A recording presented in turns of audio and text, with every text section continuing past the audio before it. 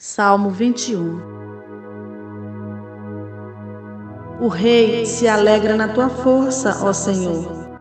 Como é grande a sua exultação pelas vitórias que lhe dás. Tu lhe concedeste o desejo do seu coração e não lhe rejeitaste o pedido dos seus lábios. Tu o recebeste dando-lhe ricas bênçãos e em sua cabeça puseste uma coroa de ouro puro. Ele te pediu vida e tu lhe deste, vida longa e duradoura. Pelas vitórias que lhe deste, grande é a sua glória, de esplendor e majestade o cobriste. Fizeste dele uma grande bênção para sempre. Lhe deste a alegria da tua presença. O rei confia no Senhor, por causa da fidelidade do Altíssimo, ele não será abalado. Tua mão alcançará todos os teus inimigos.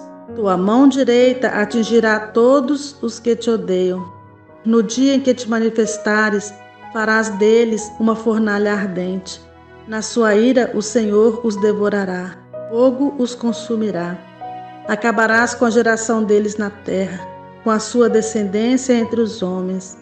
Embora tramem o mal contra ti e façam planos perversos, nada conseguirão, pois tu os porás em fuga quando apontares para eles o teu arco. Sê exaltado, Senhor, na tua força. Cantaremos e louvaremos o teu poder. Amém.